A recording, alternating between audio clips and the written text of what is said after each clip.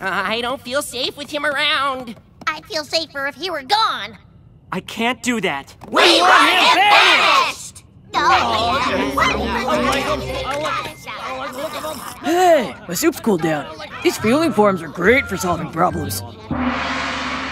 Everyone, please, if we are interrupting each other, we are not affirming each other. Oh, yes.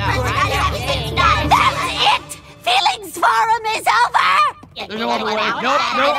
Wait.